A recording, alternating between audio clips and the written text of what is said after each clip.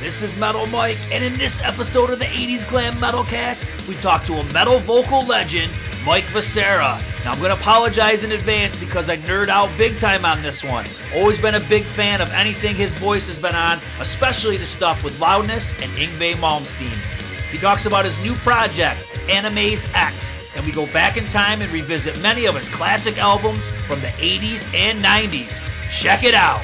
Welcome to the 80s Glam Metalcast, Mike. How you doing tonight? I'm doing good, man. How are you? Oh, I'm doing awesome, man. Talking to you, I'm excited. Great, cool, man. Well, hey, let's start with this. So it seems like you're always lending your vocals to like a new project. You got anything in the in the works right now? Uh, you know, I'm always doing a ton of studio stuff, um, but right now we've been focusing on a, a new project called Animaze X. You can check it out at animazex.com.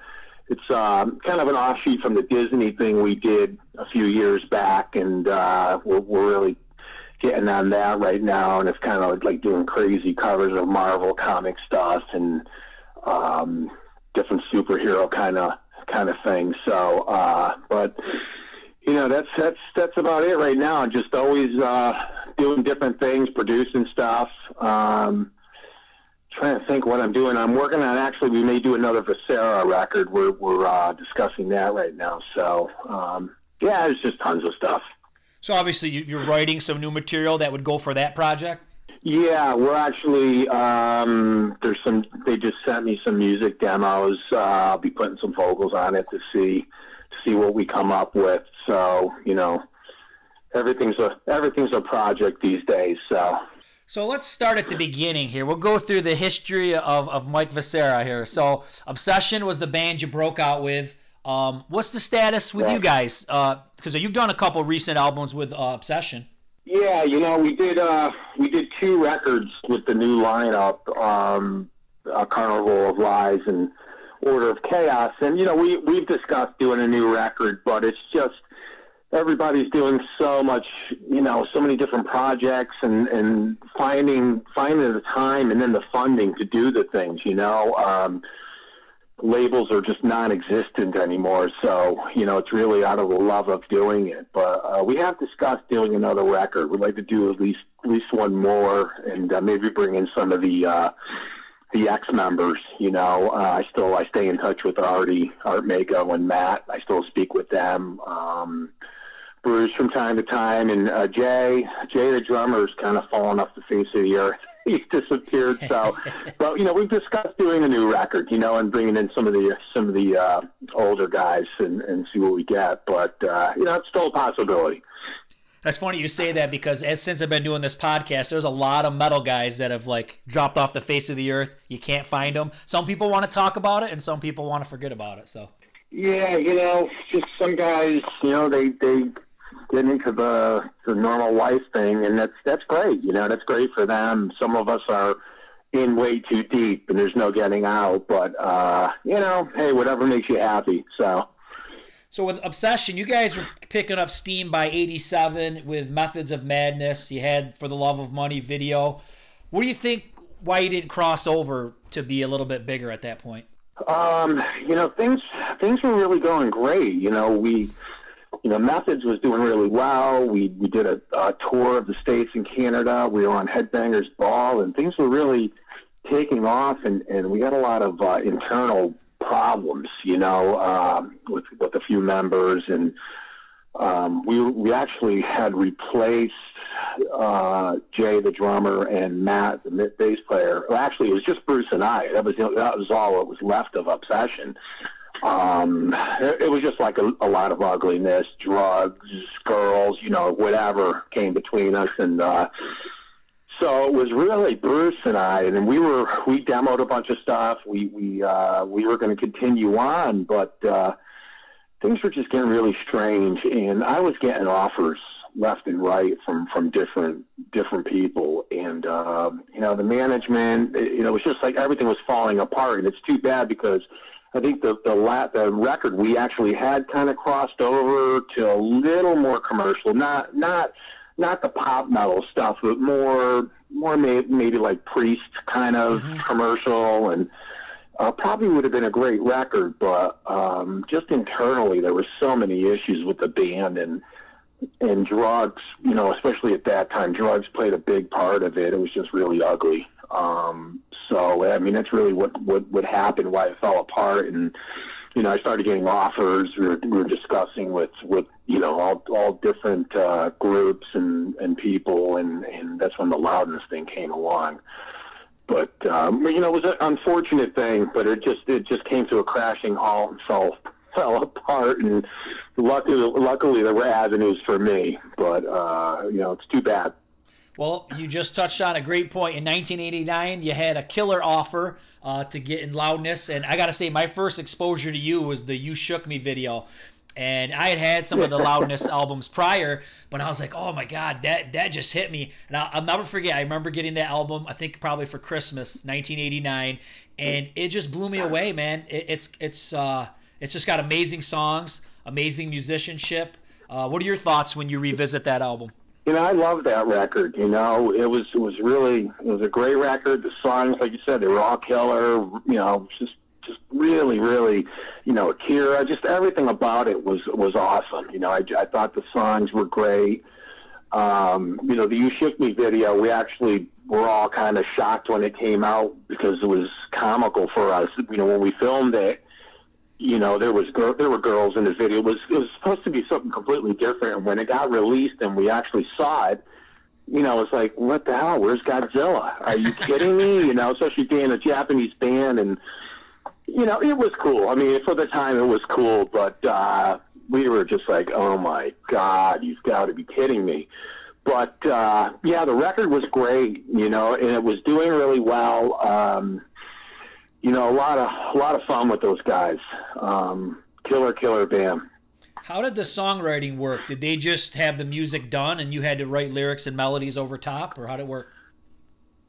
Yeah, well, for that record, you know, they had been looking for a singer for quite some time, so the music was was already recorded for that. Um, so when I came in, we, you know, we we got we got all the lyrics together and melodies and a lot of the stuff I would sit with Akira. Sometimes he'd have something melodically in his mind, and or I would have something. So um, that's pretty much it, the way it worked um, through the whole time with them, where I would write the lyrics and, and most of the melodies, and Akira might have an idea too, but, uh, you know, uh, pretty much they would, you know, Akira, and Akira was the main songwriter as far as music, so mostly all came from him. Got a favorite track on that album? On Soldier, oh God, you know, obviously I love Soldier. I love yeah. Soldier of Fortune. I used to really, really dig Long After Midnight, which that yeah. one didn't get a ton of play, but it was a really cool song. But uh, hard, you know, hard to say. You know, the ballads were great on that. Mm. Twenty Five Days from Home was killer. Yep. Um, that's I think the whole record. But you know, Soldier of Fortune just has tons of attitude. I really dig that song. You know, it's just kind of sums up what the band was trying to do at the time and has a lot of attitude. I'd say Danger of Love has kind of grown on me over the years. I'm not really sure why, but I, I really dig that one. Yeah, it's a cool song. You know, I, I actually I go out and do solo shows all over the world, and you know, once in a while we'll pull that out. We'll do it. Um, but yeah, that's a good song. All of them were really cool in their own way. Um, so the thought, I'm assuming, and you can correct me if I'm wrong, but the thought was to break this band big in the U.S., right? And the thing that kind of strikes right. me weird is there's only one single, and it really wasn't the most commercial song on the album, not even close. And there was no real American tour. So what happened there? Why why was there more singles, and why wasn't there a tour in the U.S.? Oh, you know, we we we were supposed to tour, and um, we had all that. It's just more more uh, political stuff the management had been abusing their power for, for quite some time, and we found found out that we were broke after wow. Soldier. Um, there, you know, just the management had been you know overseeing all the finances, and there was just no money to do anything, and it all almost ended. And luckily, we were with. Uh, Warner Pioneer at the time it was called. It was Warner Records and Pioneer Records, and they decided that we would um, they would let us do another record, they would fund it, and we would just release it in Japan, you know, and then recoup, you know, then the funds would be flowing, and then we could do another record for the world. But what happened was, uh, as we were doing that record, the label decided they really liked it and they wanted to release it for the world. So that's why On the Prowl is a little odd because it originally wasn't supposed to be for the world. It was only for Japan, for that territory. And anything in Japan we would release would be gold and platinum within a couple of days. Mm-hmm. So, um, you know, that's what happened. You know, just uh, again, just uh, man, you know, management, you know, mishandling our funds, and and uh, there just wasn't any money. So luckily, we were able to continue, and uh, on the prowl actually did really well, and we were getting a lot of promo, and we started touring the states, and we had a um, not a lot of people know, but we had a an accident in Texas, and uh, I actually ended up uh, getting a bunch of glass in my face and and in my eyes. And and my brother was with me on the road. And he ended up getting hurt real bad. And we ended up being holed up in uh Texas for like two weeks and when the tour resumed it just became a real mess so it all fell apart but we were really yeah things were great uh things were real successful uh you know venues were full but um you know after the accident the guys and loudness, the other guys just didn't really want to continue, and they made it really difficult. Um, so you know, there's a lot more involved, but uh, everything just started falling apart, and that was, you know, that was the end of it.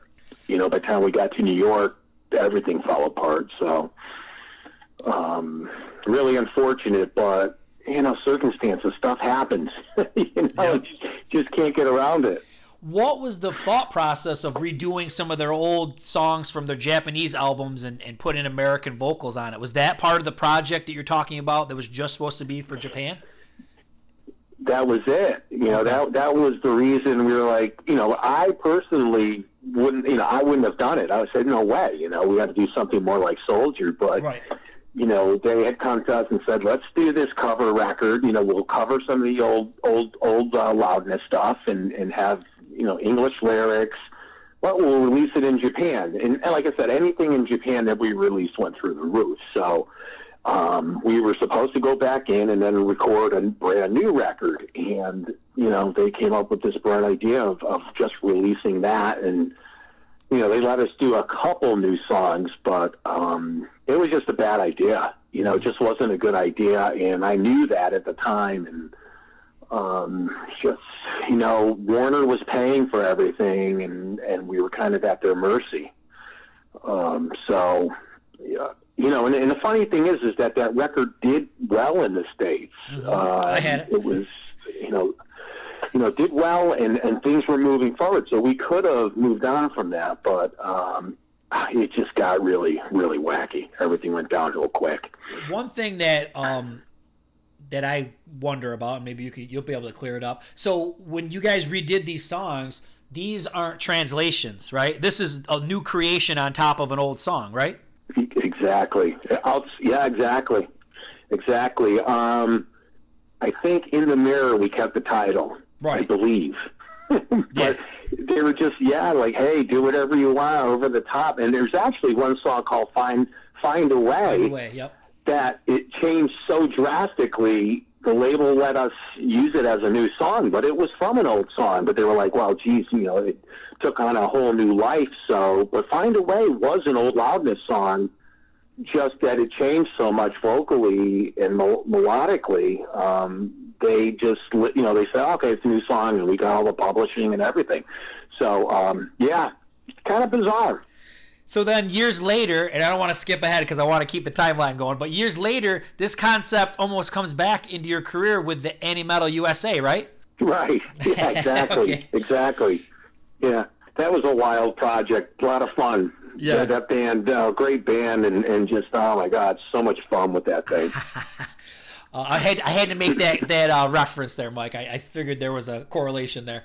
Um, yeah, yeah, no, that's cool. That's cool. So you do you do like one more song, "Slap in the Face," pretty heavy. Um, was that the, the direction that what you were going to go with loudness if you were with them? You think it was going to get heavy? Yeah, well, Akira was really he was getting into the super heavy stuff at that point, and you know he was almost getting to where he didn't want to play leads anymore. He wanted to sort of go into the heavy grungy kind of thing, and and uh, you could kind of see that in Slap in the Face. That was just, that was the last thing we did together in the studio, and uh, it was a single again, you know, for Japan, get it out, make some money, promote it, and um, cool song, heavy, but um, you know, just that was the direction it was heading in, and even heavier. You know, um, it was almost getting a little bit too dark, some of it, and and you know, uh, I don't know. You know, I mean, that song was cool, but some of it, some of the other stuff Akira was coming up with, uh, you you probably I don't know if you've heard any of the loudness records when after I left, they yeah. were really really heavy. Yeah, they did one. They, well, the guy from EZO was the singer uh, for a while after you, and, and right. that album's pretty cool. What'd you yeah. think of that one? Yeah, see, yeah. I, you know, it was cool. It was just heavy as you know, just crazy heavy, and and just I you know I knew it was heading in that direction, and and uh, I wasn't surprised. wasn't my thing, but um, you know, it was cool just just I knew it was gonna I knew what was gonna happen and musically you know, I, you know it was exactly what I thought it'd be. Well, luckily you did a show with these guys a few years back, and uh, any chance that you maybe do music again? Um, yeah, you know we talk. I still talk to the guys quite a bit. They're still good friends. Um, you know they want to do. You know when I when I played with them a couple of years ago was they called it Soldier of Fortune, featuring Mike Vescera, and you know we played Loud Park and all that. But um, yeah, you know, the Warner Warner in Japan would love us to do another record, and you know, there's been discussions of us touring, but not as loudness. It would be as Soldier of Fortune, and uh, you know. Mickey, the singer, is still with them, and just out of respect, you know, for him and, and loudness is still touring. We would we would do it, but we would probably do, you know, use a different drummer like we did for Loud Park, and uh, would probably be called Soldier of Fortune. Cool. But uh, yeah, you know, there's been discussions, and um, it very well could happen, but you know, it's just a timing thing, and and uh, you know, we'll see. But uh, you know, I, I do talk to those guys quite a bit, and their management and everything. We're we're still in touch, and uh, yeah, it, w- it would be a cool thing. I think it'd be a great record. So. Oh, definitely. So back in the 90s, we all know, and maybe for some of these younger people out there, there was no internet. We didn't know what the hell was going on. So when you were out of loudness, I didn't know what we were doing. I, I didn't know how to find you, you know, what you were up to. So, but I always was an Yngwie Malmsteen fan. So I then by that point there was no hard rock and heavy metal was not really being covered on MTV or in magazines. So so I buy uh, I see an uh, Yngwie album, uh, Seventh Sign, and I buy it. I don't know who the singer is going to be, and man, pretty excited when I got home and opened it up and checked it out, and there you were, vocalist. So yeah, that was awesome. Yeah, good old Yngwie. Yeah, I, after Loudness, I started. You know, I actually started a thing called MVP, and we, mm-hmm. you know, it was a, you know, it was a, so, a kind of a solo thing, but I had a killer band uh, back in Connecticut. Um, BJ Jan- Zampa was playing drums. He's with House of Lords. He's yep. a, he's actually with Dokken right now. He's playing drums for Dokken, and just a, a couple of local guys. And it was a killer, killer band, and you know, we were discussing with labels, there were deals on the table and all kinds of stuff happening. And then I got the call from, uh, from Mike Varney with Yngwie on the line. you know, and uh, next thing I know, I'm flying to Miami to to jam with Yngwie, and you know, two days later, I'm I'm singing for him. So it was pretty crazy. Yeah, and I know for me, um, I thought Odyssey was an incredible album.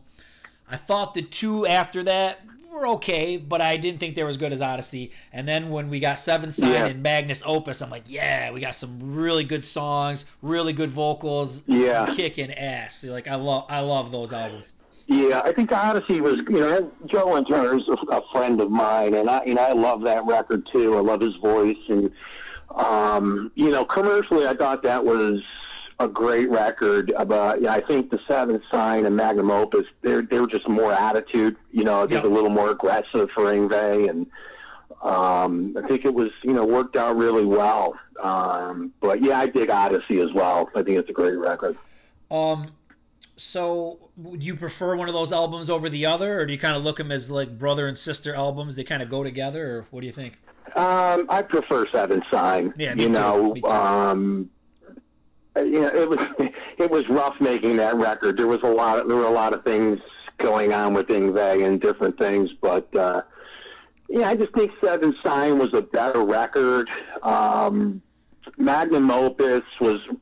I think it was a cool record, but it was more forced than Seven Sign. Seven Sign just flew out of us, you know, and uh, Magnum Opus, we were more more on a timeline. They had to get the record done and get us back out on the road and um, just keep things moving. We actually, you know, we recorded stuff in between too. You know, there's there's like a four song or five song EP that came out uh, called "I Can't Wait." Can't wait. Yep, yep. Then we did some, yeah, we did some songs for uh, a wrestler in Japan, and we did a a little live thing. Then we did, you know, we of course did live at Budokan, and Yep. so we were just constantly, constantly in the studio or or touring. You know, it was a nonstop machine with that thing. But um, I, you know, I if I had pick one, I'd say Seven Sign. I just think that was a really great, great record, and and kind of put him put him back on the map, and it was just insane. You know, when we toured the whole thing.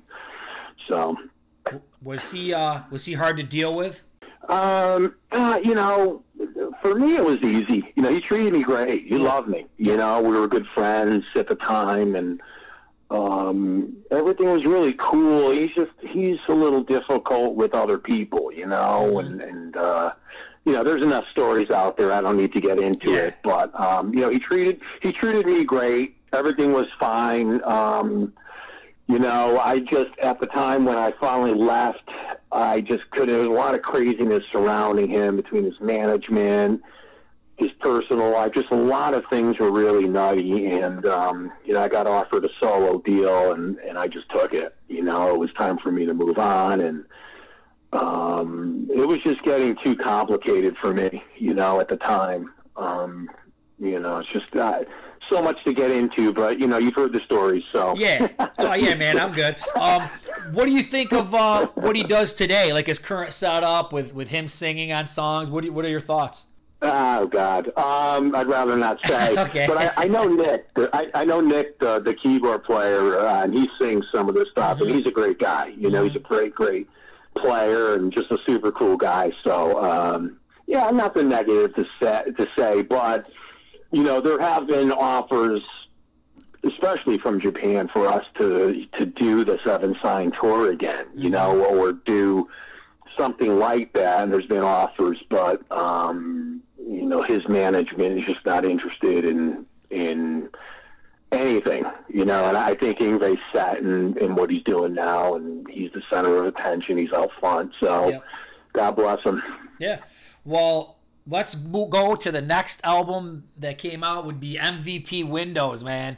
This is one of my favorite albums of yours. Uh, you, to me, I listen to that one. You feel like you sound like you're liberated. Like you're just. This is. I don't. I don't have to fit into the Yngwie mold, the loudness mold. I'm just doing my thing, and man, I think it's an amazing album.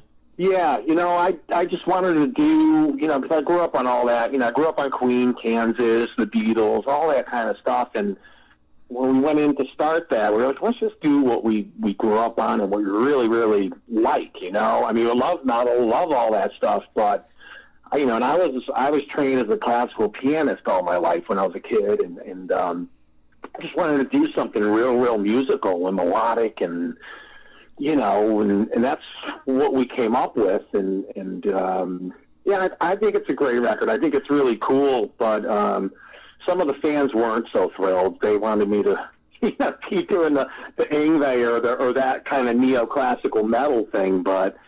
Um, you know, we we have a blast making that record. I'm real happy with it. You know, so but uh, you know, it, it's tough. You know, when people know you for one thing, they want to hear that. So Yeah. Well, if anybody that's listening hasn't heard it, they it's on Spotify. Go check it out. Uh, especially like something like No More. It's very kind of like jazzy. You know what I mean? It's a cool song. But you've got some heavy ones too that fit into the you know Yngwie loudness mold, like Innocent Man. Um, you know songs like that, and, and the Strawberry Fields uh, cover is totally cool. So yeah, I love it, man. I love it. yeah, Oh, cool, cool. Yeah, yeah. There's some heavy stuff on there. Um, yeah, cool stuff, man. You know, just a little, little more, you know, Beatley or Queen or Kansas. You know, there's more, more, more musical stuff on there. But yeah, it's a cool record.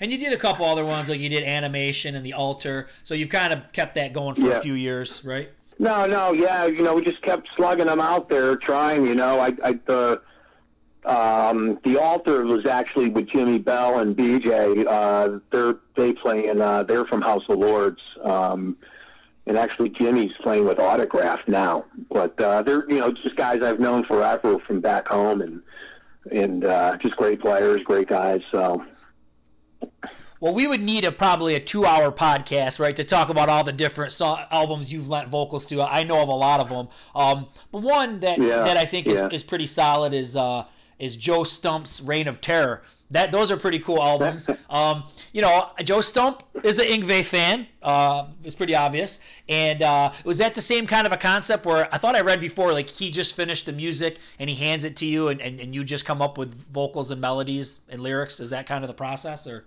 Yeah, pretty much. Yeah, he would just, you know, he would write the music. They, you know, we he'd track it, give me the tracks, and I would, you know, sing whatever whatever I came up with. You know, yeah, was- I, really cool records, both of them. Um, I think the second one, I think I, I we actually recorded uh, recorded it at my place up in Connecticut, and I produced the second one. I think. I can't remember, man. Uh, but Joe's a great guy, great player, a lot of fun. Um, but yeah, man, you know, he would he would come up to music and go, "Here you go," and I would just do my thing on it, and uh, you know, really good records. So when you get a so let's play this one out. So let's say somebody gives him music and and you write this amazing uh, lyric and melody over it. Do you ever get one where you're like, man, I wish I could have kept that for something that I'm doing? Do you ever get one where you you don't want to give it away after? Or? Um, no, you know, I've never, I've never done that because Okay. I, mean, I always figure I'll come up with something else for whatever, you know. So Right. I've never really thought of it that way, but maybe I should. Yeah, because there's some. I mean there's some I mean uh, one that comes to mind that's a really killer song that I would have wanted to steal for myself for my own project would be is the unknown. Um, that's a really cool song. Right, yeah. Yeah, there's some really cool stuff. You know, Joe is great. Like, he'll write some real melodic stuff. Yeah. Um, and there's a lot of room for vocal melodies in his music. You know, I, I you know, now he's playing with Alcatraz, which is great. Oh, that's cool, Uh, yeah. um, the only drawback with Joe, I would say, is that some of the solos were a little too long and Sure. maybe, you know, some parts we could have edited. But overall, he writes really good songs, you know, and he plays great. So, um, but uh, yeah, some cool stuff, man. When you so when you kind of touched on this a little bit, so with the, these big choruses and these big harmonies, is are your influences in that department like Queen? Is that where a lot of that comes from, or Beatles? Yeah, you know, a lot of it does. Um, a lot of the Beatles stuff, Queen. You know, I was a huge, huge uh, Queen fan from when I was really young. Um, some of the Kansas stuff, but definitely along those lines. You know, um, not so much the poppy '80s kind of thing, but more of the '70s kind of harmony thing. Um, yeah, you know, or even like you know, simple stuff like a Dio, like a Dio type thing, where it's you know maybe just one part harmony or two part harmony, single voices. But um, definitely from all those guys, you know, I mean, they were just geniuses, all of them.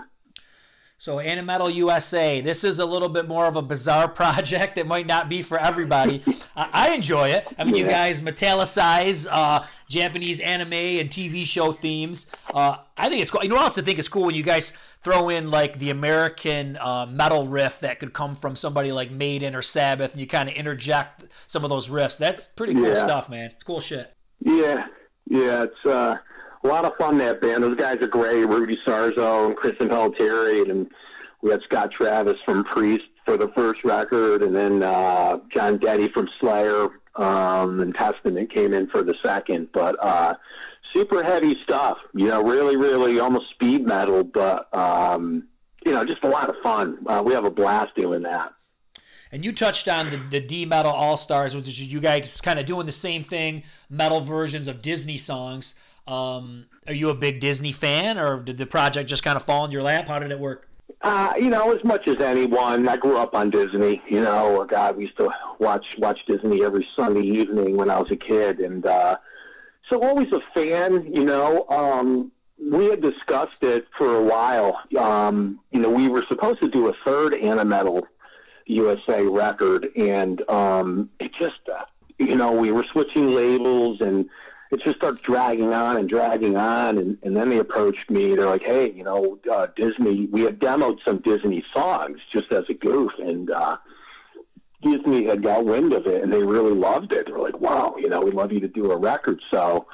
Um, so yeah, a fan. You know, not I'm not obsessed with Disney, but definitely a fan of all the stuff, and and uh, you know, really cool to to be able to do that. You know, not how many people can do a record for for Disney.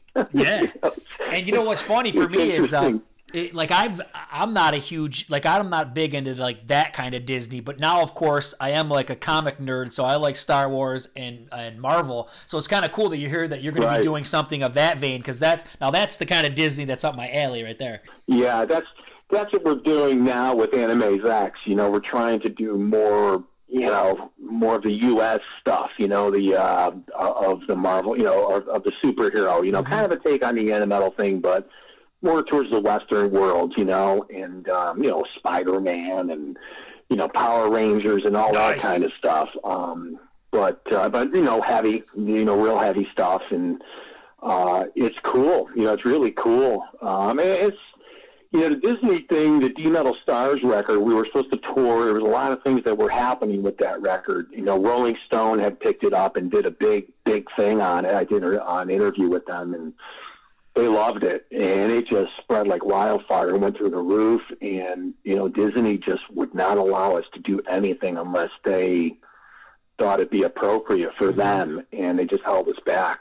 Um, was unfortunate, but um, you know that's why we decided like, hey, we need to do this and kind of own the name, own everything outright, and and not have anybody dictate, you know, how it's going to go or what's going to happen. So. Um, you know that's why we're doing this but uh, yeah, you know, it's it's fun. You know that kind of stuff. It's just you know the kids love it, the adults love it, everybody loves that that stuff. So. So out of all these albums, man, we talked about a ton of them. If you had to pick a favorite album that you've worked on, maybe you can't, but if you have, if we're forcing you to, what would you go for? Uh, that's a tough one. Um, you know, I'd probably say Soldier of Fortune, probably Loudness. Yeah. I mean, that was the time it was like a magical time. Just yeah. the whole thing, you know, just I, you know, I was a kid from Connecticut, and next thing you know, I'm in I'm in Japan, and I'm on every TV show, magazine cover, you know, and and just uh, that was just insane, you know, really. And I thought that record was killer, and and what we expected from it, you know. It, unfortunately, it didn't happen, but you know, I really loved that record. I really loved that whole time. um, but there's a lot that I really, really like, you know, but um, that was just a really cool thing I thought at the time. You know what, man? I'm gonna go with the same exact one. I think that's my favorite album that you've done. I think every song is just incredible. Uh, once again, it reminds me of a cool time, me growing up, and you know, getting that album for Christmas and watching the videos on MTV. And I feel I can I can yeah. kind of feel that that magic too. I know what you're saying is I feel like you were in the zone, the band was in the zone, and you know, hey, it's too bad it couldn't even have been a little bit bigger in the states, but still, people. And you know what? Yeah. That album's picked up a lot of steam over the years. Maybe it wasn't huge in the states when it came out, but people gravitate back to that album all the time and say what a great album it is. I, a lot of people that I talk to online love it. So yeah, you know, it's it's it's amazing how many people love that record. You know, it's like. You know, I did the Monsters of Rock cruise a few years back, and I'm, you know, hanging out with the Queensryche guys, and Todd's a big fan of mine, and that's the record. He's just like, dude, Soldier Fortune, blah, you know, and they go on and on. And, you know, just different people I meet, it, it's shocking. You know, I'm like, wow, that's awesome. You know, within within all the metal bands and all that that whole uh, you know genre, whatever, that, that record's actually real popular. a lot of people love it, so it's cool. You know, it's really cool. Is there anybody that you haven't had a chance to work with that you'd like to? Um, I get asked this a lot, actually. There's there's one guy, and I did almost work with him, but Michael Schenker as a guitar oh, player. That'd be was, a good one. He's always been one of my favorite writers, guitar players. Just really love putting the Scorpions and Michael Schenker group and UFO. Um, and I was actually in discussions with him and his management for God, almost a year on and off about me singing for him, and this was ironically, well, not ironically, but funny enough, in between uh, Seventh Sign and Magnum Opus. Okay. Um, they had approached me. He had seen the live at Budokan uh, video, and he he wanted the whole band. Um, and Barry, the bass player, did in fact um, did in fact leave. It Actually, you know, it went on through Magnum Opus. It even went on past Ag- Magnum Opus because Barry had joined Michael after that record. So, um, so it went on for a bit, and um, you know, I I dig Michael Schenker. You know, I know he. I know there's a, there's some nutty stories out there, but I think if I did something with him, it would be really cool. I'm gonna throw a weird one at you. This is the one that I'm always kind of dreaming up in my head. You and Vinnie Vincent. it would work, Uh, man. It'd be good. one. Uh, you know, he, he writes great and plays great. He's just there's just too many issues with him. Oh, you yeah. know, um, you know, it's unfortunate. I know he's he's there's been you know he's tried to do things here in Nashville on and off, and Right. it's always something really nutty surrounding it. You Always, know, and always. uh, you know, I think back in the day it probably would have been a cool thing. Yeah. Um, just- Yeah, no, this is a there's just too perfect world, Mike. Going Yeah. on there.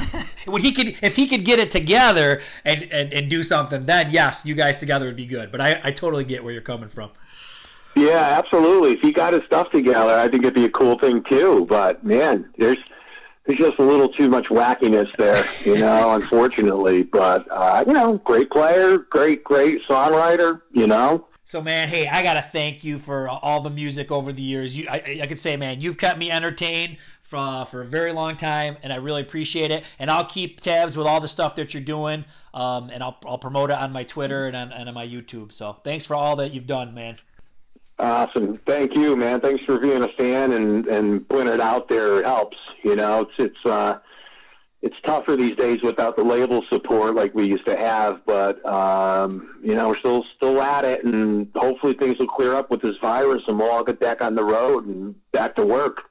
awesome well mike thanks so much for your time man have a great night All right, Mike, you too, man. I appreciate it. Well, that was a blast for me. I have to thank Mike for putting up with all my madness. And he's got an update for us. He's going to be releasing some new tracks soon.